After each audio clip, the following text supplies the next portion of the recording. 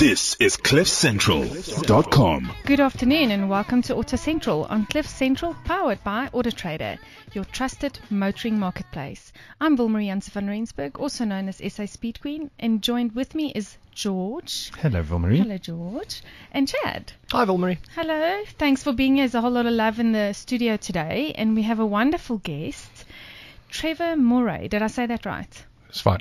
Is it, is it okay? That'll do. Trevor is from CMH, um, franchise director, director actually. Correct, Yeah.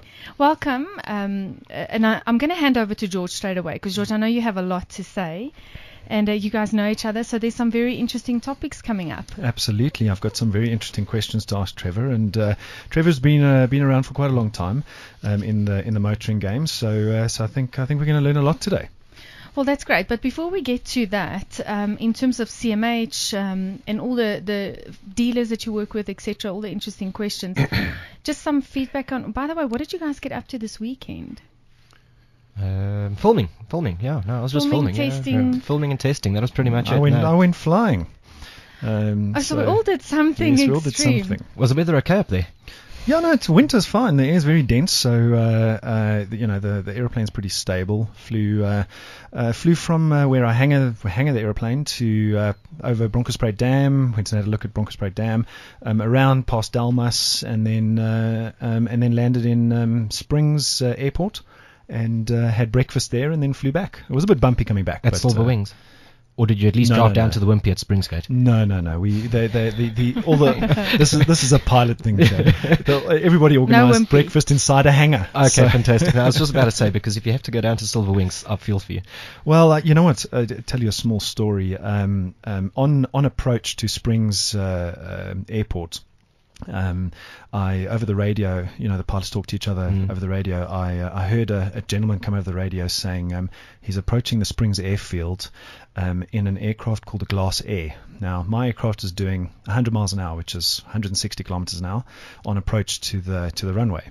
Uh, this Glasair was doing 250 knots, which is about four 350 Yeah, that's 400 quick. kilometers an hour, and uh, he came past the left of me like I was standing still. And the wash? No, there was no wash. Fortunately. Gee, because they could have put you off. Explain yeah, so it wash. was fun.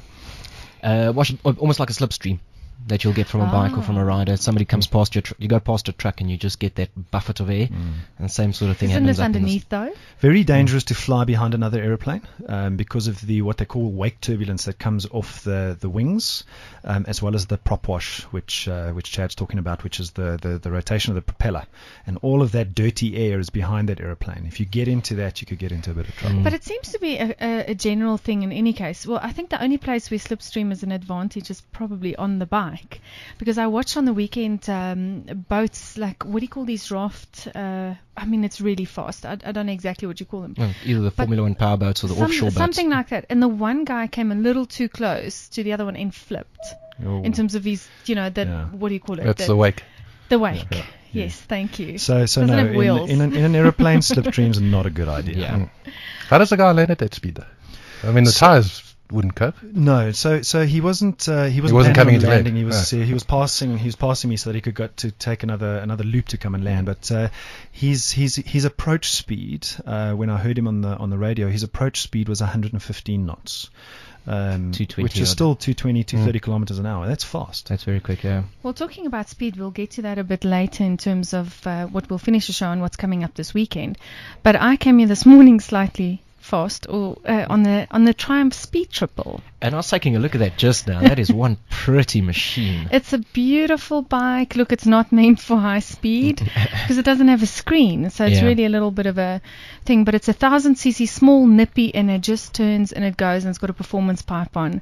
So I I was in my arrow. element coming here. Yeah, Do you ever put your arrow bikes on the back wheel, Vilmarie? not planned necessarily. so it does happen occasionally. Yeah, when you hit a bump or whatever, if you really pull off quickly, Uh-huh. it can happen, but generally not planned. No. So, um, so from that side, the Triumph Speed Triple, I mean, I thoroughly enjoyed that. But I think let's get to. Also, by the way, do you guys know it's Women's Day coming up? Yes, I heard so. Yeah, Monday. Monday. yeah. Monday. No, that's Sunday. Sunday. Sorry, Sunday with Monday being the public word. holiday. My bad, my bad. Is, Sun- is Monday a public holiday? Yes. My goodness me. You were flying on the wrong weekend, didn't you? Just try book flights on Tuesday morning. Oh, Well, well, uh, exactly. No joy. But I mean, Monday there's a lot happening w- related to uh, motorsport, obviously, um, and the weekend and women in motorsport, etc. But um, George, you want to kick off because I know you have quite a few questions you want to ask Trevor. Yeah, but, uh, but but before we get there, um, our 99 Yes. cent new car campaign, which is absolutely rocketing. The social media interaction and activity is unbelievable. We can't we can't believe how this thing is. Um, Some is going. interesting guessing. People want that car very badly, and uh, no, we won't tell you what it is. I do Um, know. Well, there are some people. There's very few people that know what the Yeah. car is, but um, uh, Trevor, the, between the two of us, we both in the studio, we don't know. Okay, good. I don't know if you know. I don't. No, there's very few people that know. But um, the, the the clue for today is uh, the boot volume is the same amount of blood that the human heart pumps each hour. So that's the next clue, which uh, would have a dropped, visual. would have, which would have dropped about an hour ago. Now that's very tricky, actually, George, because for many of the clues that we've given away already, you'll be able to use the Auto Trader search and compare tool on the site. Yes. Now, sadly, we do not have a medical site that we can do this with, where we can compare cars to, to items of the anatomy. Or Rather use water or something, surely. The- uh, you Some- know what? I know of this really cool site that you can go find that out on. It's called Google. absolutely, yeah, you're going to have to expand on the Google, on your googling skills So- here, so and go and find out uh, the, uh, the details there, and then of course, So the volume, the fluid, or whatever, Yeah. so you can the, find that. The volume of uh, the volume of blood pumped by the human heart each hour is the same size as this as this car's boot volume. So uh, so go and have fun. That's an Hmm. interesting one. A All little right, I'll go Google that just now. Hitting the phone. But uh, but but but on to on to Trevor and uh, um, so welcome Trevor. We uh, Thanks, we're really glad to have you here. Um, I've known Trevor for a while, um, and uh, Trevor's uh, been a uh, a customer of, of Auto Traders for a while. Trevor Trevor's business CMH. Uh, what is the what is the proper name for CMH? Combined motor holdings. Combined Motor Holdings. Plain and uh, simple. plain and Simple. simple. Makes sense. Simple. So how long has CMH been around? Probably Oh. two decades. No, decades? nearly 30 years now. Thirty years. I now. think they're listed in 1987, I think. Yeah. Okay. So, Yeah, 28 years, that's a good stretch. yeah. Yeah. And uh, and how long have you been with the business? 20 years coming up uh, next year, yeah. Okay. So- okay. So there's, there's there's pretty much nothing you don't know about CMH and about the motoring industry. Uh, you know, I think you're pretty yeah, much it's pretty much expert. the only job I've had. So, it's, Yeah. Brilliant. yeah. Once you get in, you never get out. You never get out. um, so so what kinds of brands do CMH uh, uh, stock? Uh, pretty much everything. Uh, we do Mazda, Ford, Suzuki, General Motors, Toyota, BMW. Um, who have I left out? So pretty much a big Nissan, Volvo. Nissan, Volvo, Land Rover, Jaguar, VW. Okay. Yeah, so- Okay. And uh, um, and and and and over the years, um, how many dealerships have uh, have CMH kind of um, managed to open up? Well, it depends on whether you count PAG, which is a Land Rover, Volvo, Jaguar as one or as three. So, Yeah. but about 55 deal- Okay. dealerships in total. Yeah. So, so CMH is a is a is a serious business. I mean, That's all we do. uh, we yeah. specialize in the motor game. So Yes. That's that's uh, that's our focus. We're the only listed specialist uh, motor retailer on the stock exchange. Wow. We also do trucks. We've got UD and Iveco. Yeah. Uh, so yeah. Okay. Uh, what, what, what, UD and Iveco um, truck tractors, or uh, do you do trailers as well? Well, the trailers are generally ordered uh, custom made by the by the customers, by Okay. the clients. So tr- truck tractors, and then yeah, they'll order their their specific trailers. Okay. And are are, are all the DM, de- uh, dealers in CMH uh, franchise dealers? So they uh, they're all uh, used car and new car, or uh, uh, uh, you don't have any just used car dealers? Um, no, no, we we we prefer to have them with the dealerships because obviously the the trade-ins feed from the dealership into the used car lot, Yeah. and it, you know, used cars are a little bit short. So stocking a used car operation, if you're buying the cars out, is it's not as profitable as obviously if you if you've got a steady supply coming through your dealerships. Yeah. yeah. What What do you mean short, Trevor? If you can just explain. The the right the right kind of car, generally. On the, on the used car lots, the guys are always trying to find stock, so to sell. to sell. Yeah. So So private people bring in your cars and sell. Yeah. So they're struggling with that. Okay. So um, and, and, and, and how many cars uh, in the whole group? I know. I know. I think you list about two and a half thousand cars with Auto Trader. We probably sell on used cars about twelve hundred a month, Okay. and then about hmm, two two and a half thousand new cars. Yeah. Yes. Okay. Okay. So, so serious operation. I mean, uh, uh, CMH listed, um, uh, 50 dealers, uh, two and a half thousand cars, um, and uh, uh, selling about 1,200, uh, 1,200 a month. So, so, so you and and and CMH should have a really good overview of of how the the car market is performing, and uh, what, how would you characterize it, both on the new and the used Yeah. side at the moment, Doc? What are what is happening? I think used used is is picking up a little bit, largely because of the affordability side. I mean, when you we're in in, in a country where GDP growth is slow, the economy is not exactly pumping. New cars have become more expensive with the interest rates, so you you end up in a in a slightly declining market so far. New cars year to date are down about two and a half percent over last year, same period. And used is fairly steady, uh, if not growing, Yeah. um, just because of an affordability point of view. Um, the nice thing for the customers, possibly with new cars declining, is that the manufacturers have quite a lead time to reduce their inventory. So they've they currently got a lot of the manufacturers got a lot of inventory. So it's a good time to buy because they've got incentives, trading assistance, etc. sell. to sell the car. So uh, as a customer, if you're thinking about a new car, this is certainly a good time to do it Yeah. because you'll get the best deal. Yeah. So where would that be? Oh, With whom? Pick pick a manufacturer. Seriously, They- Really? yeah. So basically all of them? All of them, yeah. Mostly. So you can go in there and negotiate, say, come, you have incentives. Well, a, lo- a lot of them do. Eh? So, and they will they'll use that to to assist you with your trade-in, because quite often you might owe a hundred thousand on your trade-in, but it's only worth eighty. Mm. So they'll have trade-in assistance to bring up the balance, so you can settle it and get yourself a new car. Uh, so that's a it's a good time but it gets it. worked in somewhere there into the new one, basically. Yeah, yeah. Okay. Well, Yeah. So I mean, as a as a dealer group and as uh, as a set of dealerships, what, you know, how would you how would you how do you find doing business um, in the in the market today? So that's the you know the consumer's viewpoint in terms of them shifting their uh, uh, their buying patterns from new cars to used cars. Mm. But um, uh, I'm I'm pretty sure that most dealerships are finding that shift de- uh, difficult to grapple with.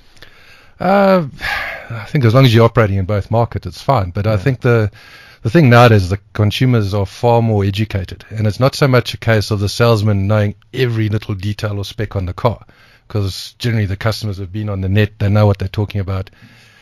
It's more for them to build a rapport with the customer, and for the customer to find somebody that when he walks in there, he doesn't think someone's going to steal my 400 grand away from me. Yeah. He wants to find someone he can buy a decent car from Yeah. uh, and and you can trust and, and, and get along with because it's not you know it's not we don't want to sell anyone just one car. We want the guy to come in buy a car or lady to come in and buy a car and the next one and the next one and service with you and buy parts and if he has an accident you know he needs to buy new headlights etc from from the dealership. So you want to you want a customer who's going to be around for a long time and I think that's put a lot of pressure on the dealerships to treat the customers properly. And you know, you've also got the manufacturer keeping an eye on things. So we have a CSI customer satisfaction index in all the dealerships, which the manufacturers monitor very closely.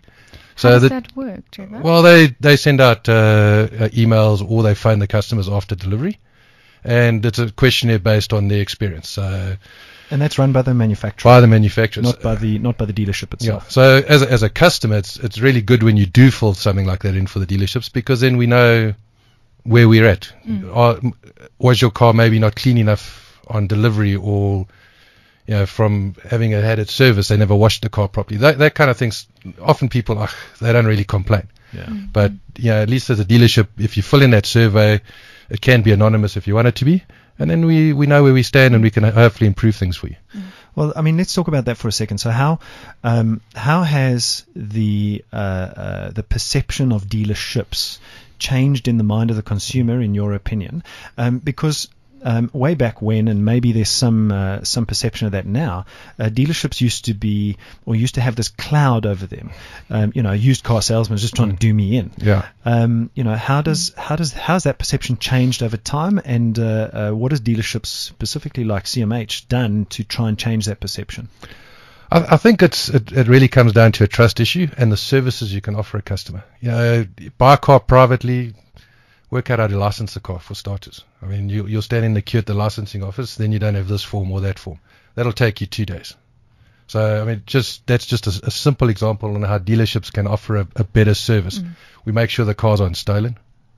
You, know, Yeah. you don't know what you're buying. Yeah. You know, we make sure that the finance is settled.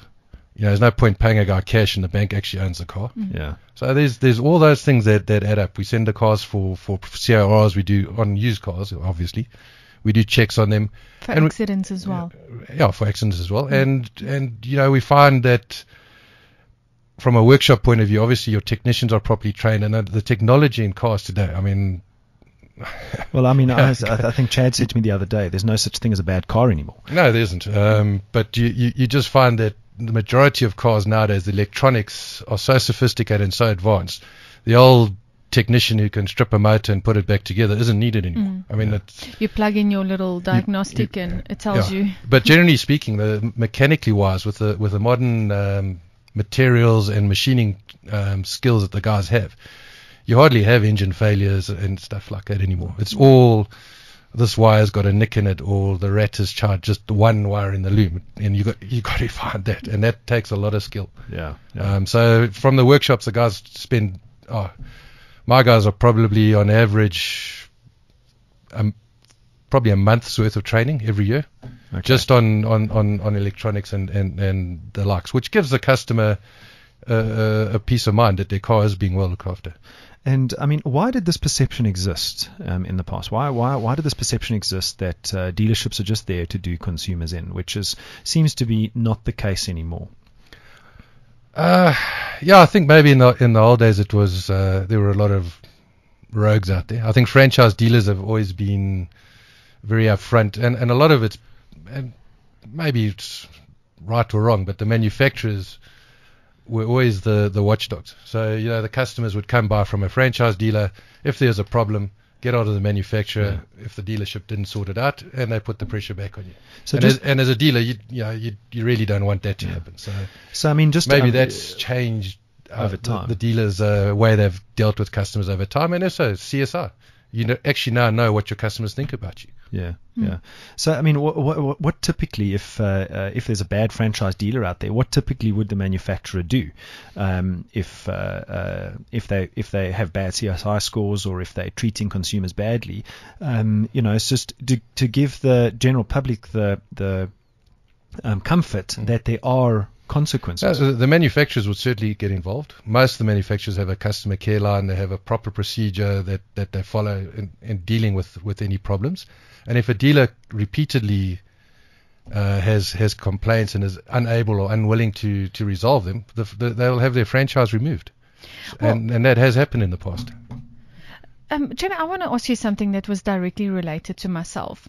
I'm not going to na- mention the brand, but it actually doesn't fall within CMH. To, and I've quickly checked now. Probably a good But. I but this is now what happened to me. Um, I went and bought a second-hand car, reasonable price. Fortunately, I, I understand a little bit about the handling of the car, so I noticed driving home that something wasn't right uh, in terms of maybe it's just balancing. So let's go sort it out. But it ended up being a lot more than that. The tire was actually busy. I mean, there's a term for that where it's, it's starting to separate. Delaminate. Yeah. Now, I mean, this is on, on my two front tires of the vehicle. I've just bought the car. So, firstly, my, my feeling is New- that shouldn't a be new allowed. car. Second-hand car. Second-hand car, okay. But still new. Yeah. You know what I mean? Um, so now I went and spoke to the guys and said that for me it's not acceptable. I think they have to replace the tires. But that kind of thing shouldn't even leave, surely leave the shop because that's a hazard. That's a dangerous uh, um, a thing with the tire. What do you do in a situation like that? Look, fortunately the guys know me and they know the background, so they also under I think understood and it was a lot easier to change the tires. But what happens to the general consumer who doesn't have that experience? Uh, because this is now an insurance risk as well. No, I, no, I agree with you. I mean, look, most of most of the dealers are are managed. They they they test drive the cars. All the used cars go through a 101 point check, go for a CR, etc.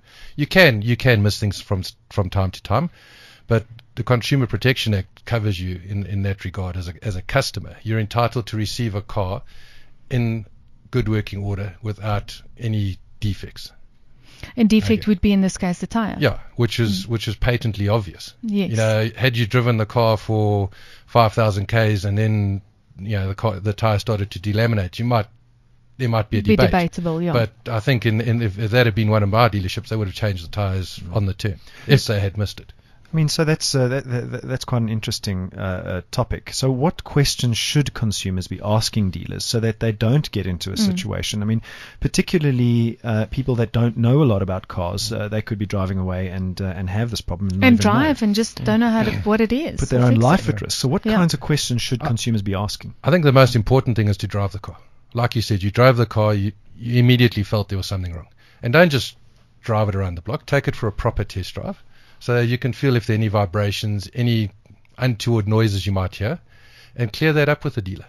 And make sure that if the dealer agrees, or the salesman, for instance, they salesmen tend to sometimes exaggerate what or overcommit what they're going to actually give you. So if he agrees, for instance, to fix the scratches on the mag, but you know the mag repair guy is, is away for a week on holiday. When you take delivery, make sure it's noted on the delivery note. Mag repair still outstanding Mm. because sometimes the sales manager doesn't Communicate. know what the salesman has promised, Yeah. and then there's always a debate. So if I, if I can give one bit of advice, anything you want fixed on the car, or you must agree up front with the dealer, and make sure it's with the sales manager, and you note if it's outstanding at the time that you're going to take delivery, make sure you note it on the delivery note. So, so that's quite uh, that's quite important. I mean, uh, uh, um, every car has a delivery note that the customer needs to sign that he's taking Yes. the car and the car is in good order. Every single one, and it and it goes through a proper check. Has it got a spare wheel jack? Know, are there any outstanding issues? And on the new cars, has the cus- have you been explained all the features and of, of the car? So I mean, I, it, it's it's probably something that everybody Mm. misses because a car is such a passionate purchase. You just want to get in and bloody drive go. it. You're so, yeah, you're so excited. You overlook most Yes. most of the things that are actually generally Mm, obvious. And I think things like the service history. Make sure the service history is up to date on the car because that obviously ensures that the warranty, if there's any new car warranty left on it, is still in place. And, and you must also understand when next to service the car. Uh, that's what I was going to say now. if you if you miss your service, your your warranty lapses, and then you, you, you're in the cold. So you could very well buy a second-hand car that is one year old. Um, it's missed a service and uh, the warranty's expired, and you might be none the wiser. Exactly. So uh, so that needs to be clarified with the dealer. Yeah, because isn't that surely the dealer's responsibility not to sell that to the client or to at least sell a new Look, service? It, it depends how the car was advertised. Mm. Yeah, if, if, if, if, if the car has no factory warranty, they won't advertise it with a factory warranty. But if they do, and it's a question you need to ask them, has the car got any factory warranty Mm, left? Because that does add value to a car. So there's actually a lot of questions that the, the prospective buyer actually does need to consider and ask the, the salesperson, the sales manager, or the dealership Yeah. before committing to something like this. Uh, you may be thinking you're getting a great deal, but in fact, as Vilmarie said, that oh, warranty has expired, something of the sort, Mm, just that- because that of a missed been- service, something yeah. of the sort. and you're thinking, wow, I'm Yeah. getting a great deal, but there's so many hidden clauses here, so to speak. And then, of course, like you're saying, making sure that each and everything on that uh, delivery note has been ticked off, has been agreed upon, and is is quite, you know, quite satisfactory. No, hundred percent. I mean, if you- if you if you actually in doubt, for instance, if you're at a Ford dealership and you're buying a VW, take the chassis number along to a VW agent and ask them what is the service history on the car and when is it due for its next service and is the warranty still valid? Okay, that, that, that's Um, that, that's something that's very that- that important. you can do. Mhm. Uh, I mean, you take the chassis number or uh, uh, or the, The VIN, VIN number, number, yeah, yeah. VIN VIN number, number, um, which is on the windscreen of uh, of all cars, um, and uh, and take it to the actual um, The agents, uh, agents that uh, that that manufacture or sell the car for the manufacturer and ask them for the service history, and uh, and most most dealerships will give it to you. Yeah, yeah. Well, mine will. The only thing with this is, though, am I right in saying that if you do that, the, the thing that's not on that, let's say, call it the system, is is um, certain accidents. Am I right in saying Correct, that? yeah. Because a lot of these things will not show there. So who do you trust then for a situation like that before you just buy? Because a car doesn't have to be written off to be Repaired. to Repaired. be yeah repaired or badly so. You know, in terms of uh, Look, wheels and I, I- think looking at a car, if you if you look at a car carefully, you can you can pick up if it's had paintwork or panels are out of alignment, you slight different colours in the paintwork, and I mean quite quite often you'll find that uh, a car's had a had a gate close on it, so the door's been scratched and, and, and it's been repaired. That doesn't devalue the car. It's been repaired properly at a at a panel shop. All the all the all the all the panel shops generally use paint that is guaranteed for life. So there's no there's no devaluation in the car. Where you have problems is where you have chassis being bent, not straightened properly. Yes. Uh, guys have used second hand parts in the suspensions, etc., etc. So if you feel uneasy about the car, take it for a, an AA test. But I was going to ask that as now. Now that's not a cheap thing to do. So wh- who Well, pays for it- that? It's cheaper than uh, finding out six Yes. months down the road and No, fair enough. But let's say something is wrong. Is that does it, wouldn't that have to become the dealership's? Uh, Well, I, I'd do that before I, before I bought the car. So take it to the AA.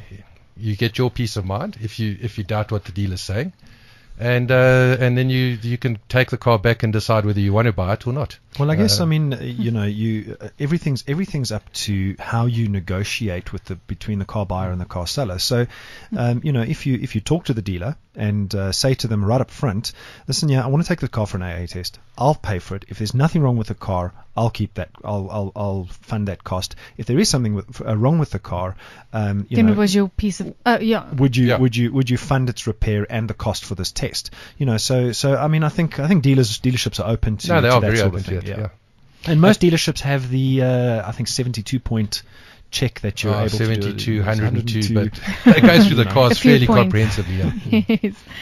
Well, um, we're going to get back to um, Trevor too just now because I've got some interesting questions on what CMH is, is busy with, you know, that people don't actually see.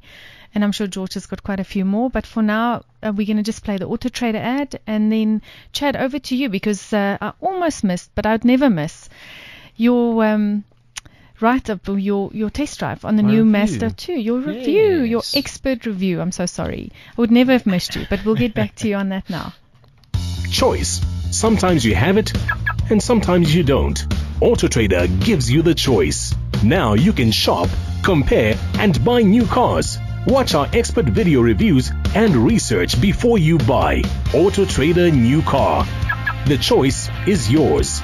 Stand a chance to buy a brand new mystery car for just 99 cents. You heard right, 99 cents. Follow the clues on Twitter at AutoTraderSA and use the hashtag 99 cent new car.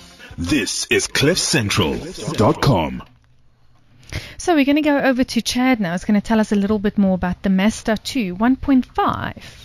Yes. Tell us, Chad. Well, okay, I must say straight off the bat, and I was actually chatting with Trevor about that earlier, that uh, Mazda's, Mazda currently has got a fantastic range of vehicles, and they really are, they're marketing it properly, and they're offering fantastic packages as well. Uh, just, just straight off the bat, the cars are offered with a three-year unlimited kilometer warranty and service plan, so it's, uh, it's it's great peace of mind. And Trevor, you were mentioning earlier that just for a small amount of money, you can extend that to five years unlimited yeah, I think on the as on the. Mazda 2, I think it's about three and a half thousand rand. Yeah, So I mean, mean, if you look for a, a warranty, it's that's pretty cheap. It's, What did you say? Unlimited? Unlimited mileage warranty. So if you if Unlimited you're a mileage. rep Wow. or something like Yeah. that who's doing big big mileage, I need that. yeah, there we go. And I'm not even a rep. No, it's it's it's a great benefit, and it's not only to give you peace of mind. If you come and trade the car in, say after three and a half years you trade it in, and you can tell the used car manager it's still got another one and a half years worth of factory warranty, you'll get probably on a little Mazda 2 like that ten or fifteen grand more. yeah, it's an So it premium on that. actually for for three and a half thousand rand, it's it's an absolute bargain. Definitely is value in your in your pocket in that. But the whole car as a whole, I was extremely extremely impressed with it. I did some serious mileage with it. I ran Joburg to Kimberley and back in the vehicle, and uh, loaded up with four adults. And while you may think that's a small 1.5, only making 83 kilowatts and 145 newtons, it handled any sort of gradients. Loaded up four adults, all their luggage, back and forth without an issue. I had the automatic one on test, and while it can be a little thirstier than what uh, Mazda claims, it still wasn't bad. Nice and economical. Have you driven a car yet that meets the manufacturer's claims? Yes, I have actually. Surprise. Well, I have yeah, actually. he has several, several. Okay, well. Um, and and he's even beat the manufacturer's claims. I have, yes, yeah. Um, but uh, the, the Mazda 2 was, was pleasantly surprising. It really was. Um, the biggest standout aspect for me was the trim level, um, the spec level, and just the general overall design, both outside and in. While I feel it's a little under-tired, under-wheeled, uh, runs on a set of 16-inch wheels, would look a little better with a slightly larger wheel. But I know that they went a little smaller like that, gives you a little more rubber, makes it a slightly more comfortable drive Uh, in terms of running costs, 16-inch tires, 17-inch tires, much of a muchness in this day and age. Affordable. It's it's fairly affordable. You know, it's not massive and it's not out of proportion. Uh, it, it was really, really a great drive. Uh, th- what I kept on telling everybody with it was, if I had to put you in this car, blindfolded, cover up the badge, and then take that blindfold off, and you didn't know what car you were in, and you had to guess what vehicle you were in, chances are you would say something Italian. That is how the interior is designed, crafted, and finished. Absolute mm. beautiful, beautiful place to spend time. I love the interior of the Mazda 2. It's absolutely you, phenomenal You're for quite that a pricing. fan of the the in, interior of a car. I mean, you It's you're because very yes, yes, specific I, on spend a that. lot. Yeah, I am very, very specific on the interior of a car. It's where you It- spend the most time. It doesn't look cheap. It doesn't look For, cheap. for no. a for a well-priced car, it, it has a very very upmarket feel to it. extremely upmarket feel. You would say that the car costs about eighty to hundred thousand rand more when you just take a look at the Okay. at the interior and also the touch and finish of everything. It's one thing having a three hundred thousand rand car, but then it's got a fifty thousand rand sort of plasticky interior. And that's terrible. It's a bit of a letdown. Mm, We've seen This- a few of those now. we have. Unfortunately, we have. But this one, just the, the touch and feel of everything and the general finish as well, extremely high standard. And it's a great s- place to spend some time. What is it going for? Um, the 1.5 individual auto, 222,800 Rand. That's including that and, of course, that three year unlimited kilometer warranty and service plan. There's 136 of them on uh, on Auto Trader sites at the at the moment. I mean, obviously uh, a lot of those are uh, are second hand, but uh, sounds like a brilliant car. Well, yeah, we're talking about the latest one. Yeah, the previous, and it's and it is a, a considerable leap over the old one. Old one wasn't bad for its time, but having this new model to actually compare it to, you realize the shortcomings of the previous generation. So it really is a solid, solid choice. If you're looking for a small hatch, pretty cheap to run, hmm. very reliable, and a stunning looker. It turns heads like you won't believe. I've got this thing that I call HTF, which is head turn factor, and the Mazda 2 You has tested, Chad. I, you test it. You test it. Drive around in what I'm driving now this week, and you sit there and you're like, wow, I'm just wallpaper. I'm just being ignored left, right, and center. And then you can drive cars that you don't think have appeal, and it, and it garners attention. And who doesn't like being looked at? Who doesn't like being noticed? We want to. It's human nature. So, uh, and the Mazda 2 got a lot of great response. Even just pulling up to a parking lot, I'd have people approach me at the car wash. People approach me, is this a new Mazda 2? Wow, it looks even better in the, in the metal, you know. I've seen it in the pictures and it's been appealing. But this is a fantastic looking vehicle. What does it go for? Starting to ask the questions. and the colors. Colors, not overly exciting. Not overly exciting. They're not ones to go with your, your bright yellows and oranges and that type of thing. You can get it in their, I think it's their Hazumi red. Soul red. Soul red, that's the one. Soul red, which Well, is probably quite the, nice. It's a very nice it's color. a stunning color. Um, but generally, most of them are slightly more muted blues, greys, um, your whites, So blacks. it's under the radar type of. Under the radars, but still manages to grab that attention just with the what they call the, the Kodo design element. And this is now form and function meeting each other, uh, where it's aerodynamic, but it's still you know it looks pretty. And it really Yeah, is. the, It's a- the whole concept is the car needs to look like it's moving, even though it's stationary. even though it's stationary. Yeah. I, I went to Hiroshima to the design center, so Okay. Yeah. So there we I, go. I mean, got you the can- whole spiel. Well, I see. I see. CM, yeah. CMH has got uh, got a cracking special running on uh, on on the Mazda 2 for 180,500 rand, uh, seven and a half thousand rand saving. That's on the. but but yeah, I mean, that's the quite a difference That's on the on one the you've just tested now. Well, that's a different, Well, uh, it's, it's, different variant. it's a slightly different variant, but it's still Mm. a, a fantastic little car. Absolutely. And the, the, the standard spec level is so high that when it comes to options, you don't have that much to choose from. But that's not a bad thing because it's already bundled with just about everything that you'd want. So you get the small little items like, do you want a sunroof in it? Um, you know, do you want? I think they do offer it with the leather interior, but there's no even no Yeah, need it's to an go option, yeah. yeah, that's an option. And that's almost like the two only two options that you really get on it. Mm. The rest of it is all standard, including their MZD infotainment system, Mm-hmm. which I still think is one of the best on the market at the moment in terms of functionality and usability. Mazda went with their own software there. They didn't hijack anybody or copy any. Well, sort of copied. Uh, Japanese tend to be pretty good at that, but uh, it's No, they copy and improve generally. they, yeah, they genuinely did. Uh, and it's a fantastic system to use. It is so user friendly and intuitive. It's clean. It's probably one of the best systems that I've ever used. And it's very rare that you find a car where uh, where it's specced up from the from the word go. Um, Yeah. Most cars you have to add, you know, 10, 20, 30, 40, George. 50,000 rand to spec the car up. It's a big. Uh, it's one of my bugbears at the moment with a lot of the German marks. Is that it's one thing when you see the price of the the model, but then you need to remember that's a baseline model. And I'm just thinking back to, and I'm going to mention the names. I'm thinking back to, granted, it's a higher spec vehicle, but something like the BMW X6M that I had on test, or that I went to the launch of. Fantastic, 1.6 million rand, but then as soon as you spec it, the options list alone is 350,000 rand. Well, you can buy a Mazda 2 for what that option list costs you. If you're spending 1.6 million rand on a car, I'm sure you got 200 grand to spend on specs. But it's a lot of items that I'm not going to say that you, ca- you can't do without, but it's it's just s- whoa, silly, silly prices. So you've got to always consider that as well. When looking at a vehicle, when wanting to buy a new vehicle, you need to consider what are you going to want to spec it to, hmm. and what are those options going to hmm. cost you. The base model, the base price is one thing. A spec price is a hmm. completely different thing. Mm. Mazda seems to have got it right in the sweet spot here. I think so. I, I believe so. Is it is it the same? I'm just curious. With cars and bikes now, the moment you put extras on the bike, you cannot ever get that back when you sell the bike. I mean, uh, Trevor, Depends depends what it is. Mm. For instance, um, on some of the German marks, if you don't have sunroof and sports pack, your car's worth a whole lot less. Mm. But if you fit some ob- like Logic 7 sound or arbitrary uh, accessories, Xenons don't really count for much. You don't really get anything back for Parking that. camera or something. Yeah, park sort, distance control. You don't really get anything back for that, but Those are just there are nice certain to yeah, there are certain features that people expect the car to come with. So yes, leather d- leather certainly helps a bit, but uh, yeah, it's uh, it's you generally if you if you spec it with 17 inch wheels instead of 16, not going to make too much. it Of a doesn't make much of a difference. Yeah. I'm just curious, um, Trevor, just to get back to some of the questions on, on CMH Mm. as well. You guys, we, you spoke a little bit earlier on on uh, engineering because Mm. it seems like that, you know, in general, that's quite a bit. I mean, all manufacturers do those themselves, but you guys on your website have a section where you um, people can apply for jobs as well. Yeah. Now, I think that's great. I, d- I don't know if a lot of people even knew that. So, Well, the, the interesting thing with the motor industry is nobody ever leaves school and says, "I'm going to go be a car salesman," or "I'm going to go An engineer. run a dealership," or "I'm Or- going to," you know, it's it's generally not a Aspirational Uh, job. uh, well, because no one really thinks thinks about it. Yet Yeah. the motor industry, if you include the manufacturers and everybody else, are the, we're the second biggest employer in the country. Massive market. So it's, it's a massive market, and there's it's a, it's a very specialized market. So if you look at a at a dealership, you have uh, you have the parts department, so that stores, uh, inventory management, logistics.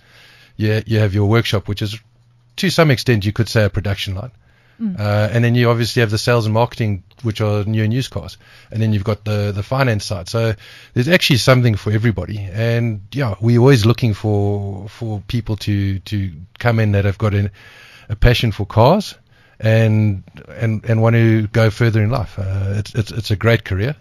And I mean, uh, you, you look at uh, you know you go generally once you become a dealer principal. I mean those those guys are earning pretty decent salaries. yes, out there. yes. I've always said that if you can if you can properly sell cars, and I'm not talking about uh, you know kind of just uh, order taking when someone walks through the door, Mm. door. You if you can properly sell cars, you're one of the best salespeople in the world Mm. because it's uh, I think it's a really tough job to sell cars because there's so much of the internet that makes things transparent. There's uh, there's so many cars available. There's so much choice. Um, there's a lot for a consumer to go and consider. And if you can close a deal as a car salesperson, um, time and time again, really good salesperson. Well, I think that's where like the really good salespeople we've got. They are very knowledgeable about the cars, but they look after their customers.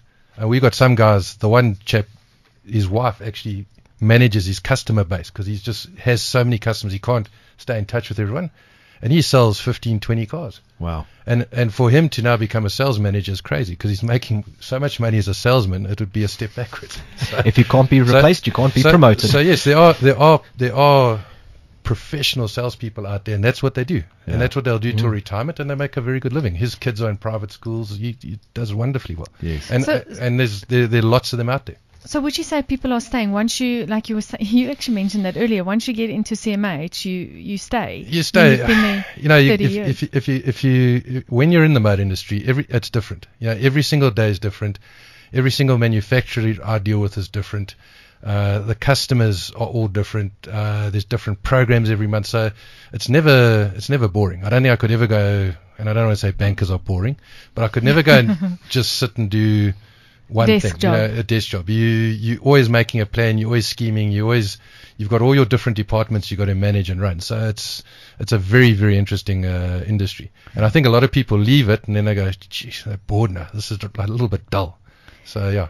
So what do you um so do you allow if we have to say to the to everyone out there now if someone's interested in getting involved in the motor industry and finding a job within it go onto your website and just send their CV what is your requirements because I didn't see anything specific Look. I, obviously you've got to have a matric driver's Okay. license. That's the, the absolute minimum requirement. Uh, and yeah, if you if you have a tertiary education, a BCom in marketing, etc., then they, you obviously you have a better chance of, of getting employment. But the one thing with the motor industry, it's a very much a, a qualified by experience type of game. So Hmm. you can't come out of varsity with a degree and think you're going to become make it in the the dealer principal. yeah You, you you have to go through the sales process into the workshop, see how that works, parts, and then progress from there into management. So it's not a there's no there's no university for car sales. So you've been through all that. I've done all of that. Absolutely. paid the school fees but that's good news though for someone who maybe can't afford those Exactly. uh, studies No, and things you know it's a, it's a great industry to be in So, um, if we can, uh, if I can ask you a different question, um, uh, the internet has changed the way everybody does anything Really? uh, nowadays. how how has it affected uh, uh, dealerships and and the way dealers do business? Because back in the day, you'd have uh, consumers coming on a weekend. It was almost like uh, show houses, and they go from dealership to dealership. Um, so, how has the dealer environment changed with the advent of the internet? I think the customer's obviously a lot more informed. You know, in the old days, if you launched a new car, it was exciting. You know, people were sitting on the showroom waiting for the car to arrive. Now they all know what it looks like. They know all the specs. It's they've googled it up yeah, front they- yeah. So that's, that's pretty much yeah. From from that aspect, that whole excitement and, and secrecy is gone. Yeah. So they they come in a lot more informed, and uh, and uh, I mean even just the way we do advertising. Uh, you know, when I started in the game, we had an old guy, Eric Pearson, and he'd say, "Come, boys, we sit around," and you'd make up the adverts and. Yeah, you'd cut. You have pictures, and then you'd have the little descriptions in the newspaper, and then you'd always the papers would phone you at the last minute. Hey, we've, we've got a, a full page for whatever ten grand. Do you guys want it? You know, it's, someone else has cancelled, and, and all that stuff, and, and that's something that's all gone away now. Now it's a case of it, we have specialist people. That's all they do. They just sit and make sure that you're you're offering on the net, because that's your new showroom. I mean, if you're hmm. if you're the, the important thing is it actually make sure all your cars are actually on offer on the net, because that's where people shop. Um, And are you are you finding that people are uh, are shopping your different dealerships more, um, or are they shopping the different dealerships less? So are they walking in knowing what they want and buying a car, or uh, you know, I would imagine in the old days it would be a case of okay, I'm going to look at this car, I'm going to go look at that one down the road, and then I'm going to look at the next one. Whereas I would imagine that today it's kind of like almost a sealed transaction by the time they get to your dealership. Look, I think by the time they get to the dealership, they've been on the net, they've had a look around, hmm. probably sent out two or three inquiries to different operations, and then decided amongst those who they who they actually want to go and have a look at. And I think the nice thing with the with the net is it's it's just a silent salesman. So the more information you can give the customer, the better your chances of actually getting them into your dealership to to do a deal. Hmm. Very interesting. Oh, sorry, I just want to ask uh, on the flip side of that, do you feel that possibly the the additional information that's out there has actually made it more difficult in term in the, for the dealership side of things? No, I, th- I think the, the, the important part is just to build value in whatever cars you got on offer, uh, and then it's it's really up to the up to the customer to make up their mind. Competition's always good good for everybody. It keeps you on your toes, and you got to you if, if if it's not a game for sissies. Eh? So if, if if if that's a problem for you, then don't come and sell. The wrong cars, eh? industry. Yeah. Yeah. Okay.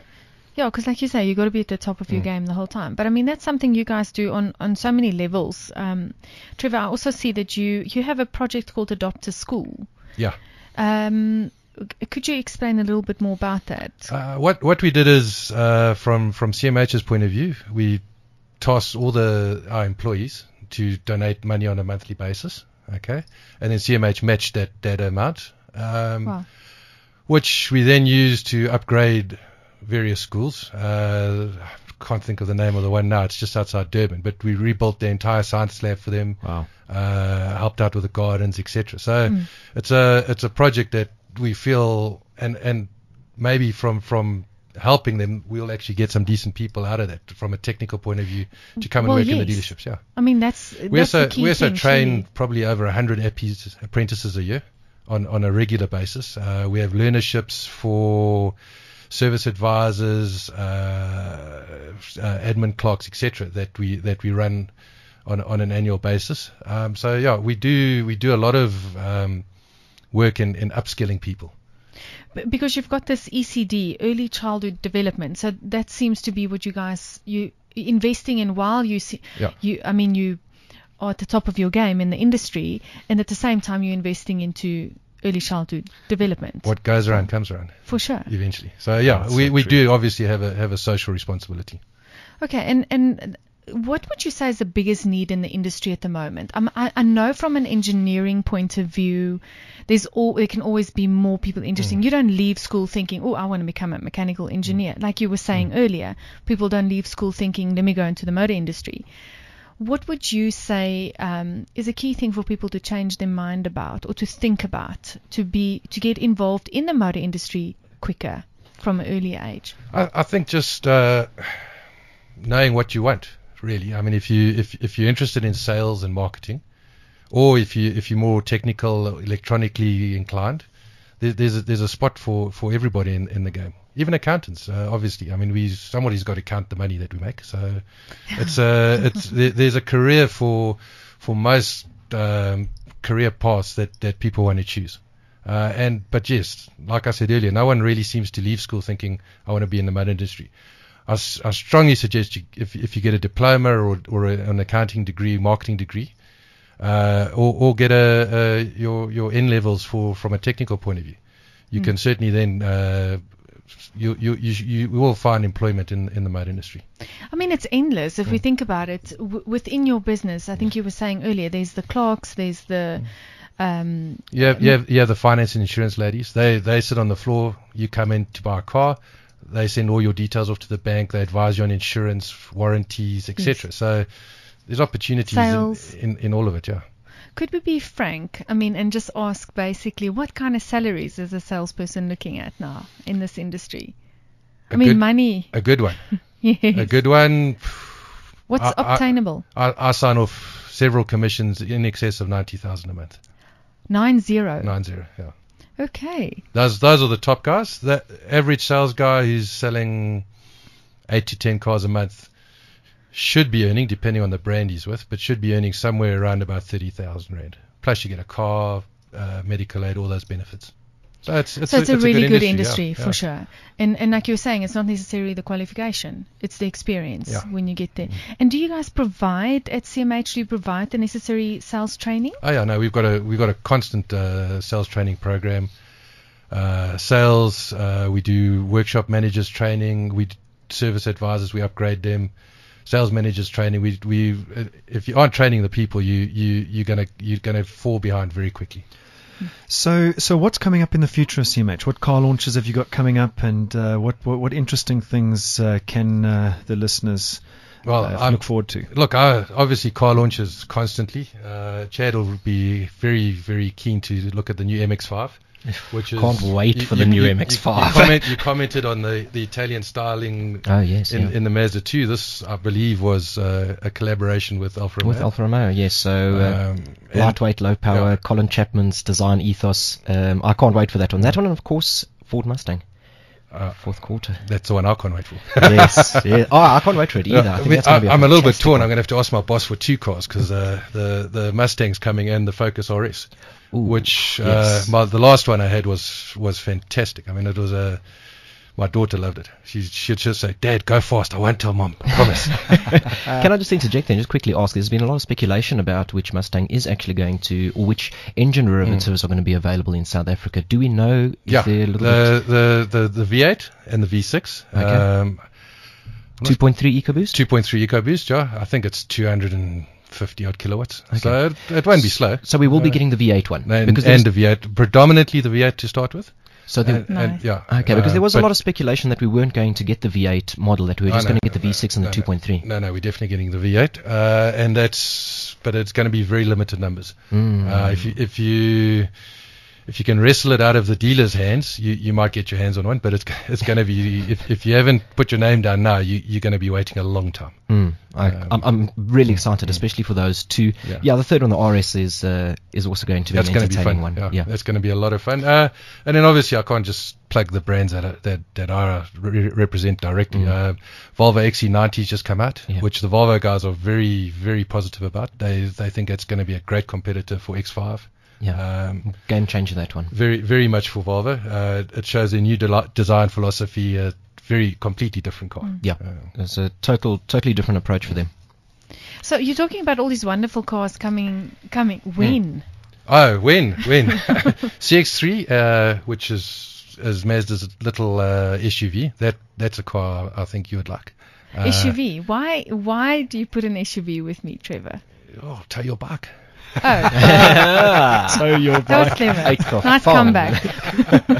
Uh, so those those will be coming uh, from Mazda now in November. You've got Everest, uh, which is Ford's new SUV com- competing with uh, Discovery, etc. That'll be coming now in October. Uh, we'll be attending Yeah. B-MAX launch, which and, is happening and, next and week. B-MAX, which is a completely different little car, uh, very unusually styled, Mm. and I think great for moms. It's got doors that slide, so your kids can't open it and bang the, the person next to you, which is a, a, great feature.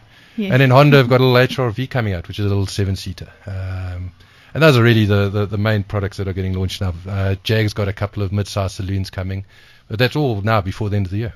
well, th- well, there's some exciting cars. Ah, sorry, sorry, and Yeah. don't forget Ranger facelift. Mm, Uh, yes. But you've got to stay on top of your game because you've got. I mean, there's so many cars that you guys are involved with. I mean, No, it's, it's, well, that's why we, we tend to split it up. So I look after Ford and Mazda, somebody else looks after the Volvo side. Yeah.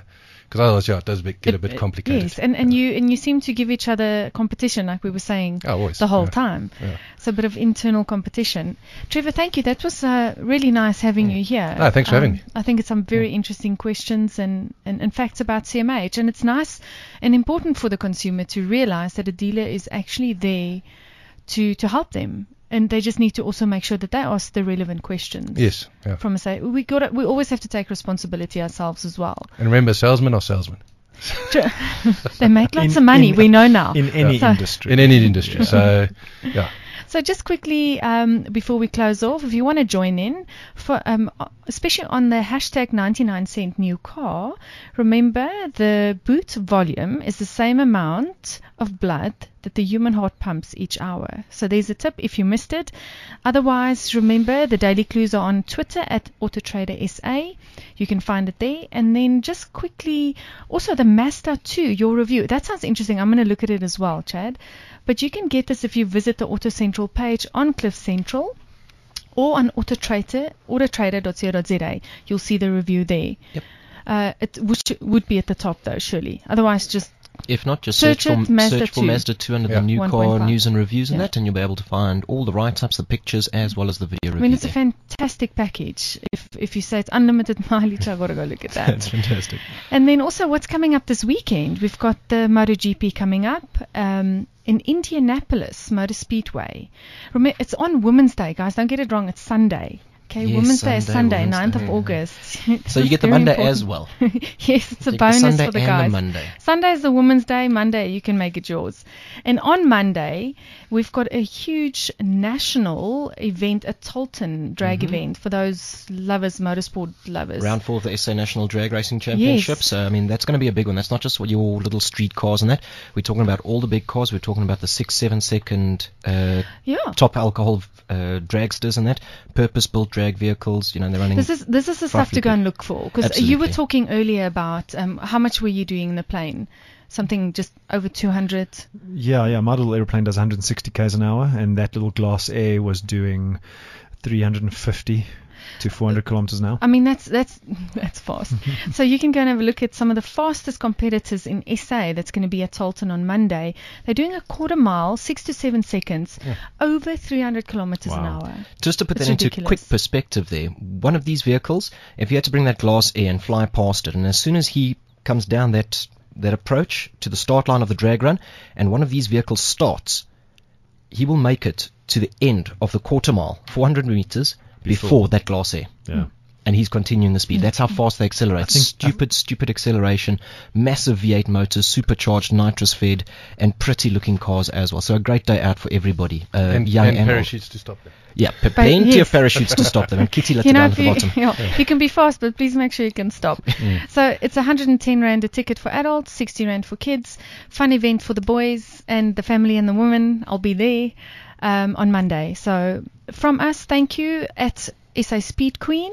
And at Auto Trader SA and at George Mienie. At Chad Luckhoff. Thanks for joining us, and remember, a secret to a balanced life: keep moving. CliffCentral.com.